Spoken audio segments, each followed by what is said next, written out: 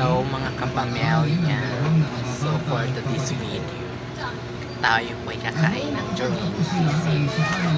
Tukwa po tutukwang sisig. Ah, yan, yan, yan po mga. Mm.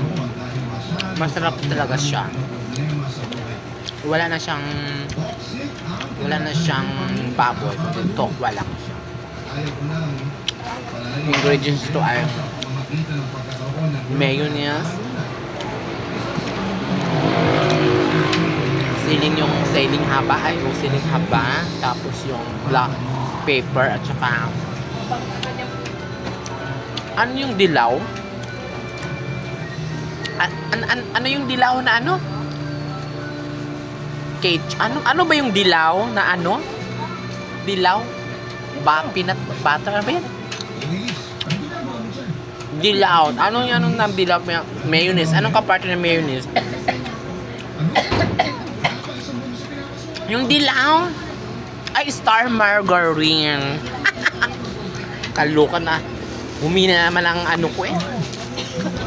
Ang aking IQ.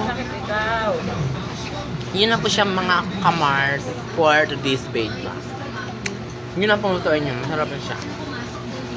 During Di ba? That's all. Yun lang po siya. Thank you for watching and don't forget to subscribe my YouTube channel, Evervlog. Comment and share. Yan lang po. Thank you so much.